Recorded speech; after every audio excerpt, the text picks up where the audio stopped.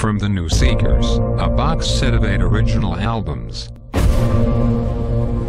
Which includes The New Seekers, Keith Potger New Seekers, Beautiful People, New Colors, Teach the World, Circles, Live, Now, Loose Ends.